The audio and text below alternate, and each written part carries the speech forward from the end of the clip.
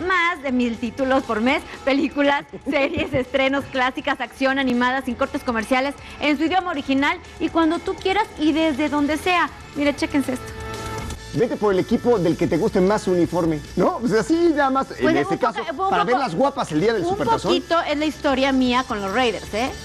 ¿Un poquito Hace qué? muchos años empecé, yo empecé yéndole porque me encantaban sus colores.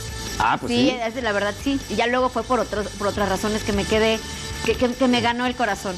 Y que me enamoré no por completo de ellos. Ya no dan una, ¿eh? Ay, no me importa. Oye, bueno, fíjate que está haciendo bastante bien todo el equipo de Fox Sports. De veras, no se vayan a perder nuestra Sí, cobertura porque va a estar increíble. Y, lo que, y todavía lo que están haciendo antes de este Super Bowl. Y Valeria Marín está allá en Seattle muriéndose. Digo, en, en Seattle. En, En Arizona. En Arizona muriéndose ya- de no frío también porque frío. ya les agarró la lluvia. Así que vámonos con Valeria Marín a ver qué nos cuenta de lo que pasó hoy, ahí en, antes del Super Bowl. La humedad, más bien. ¿Sí?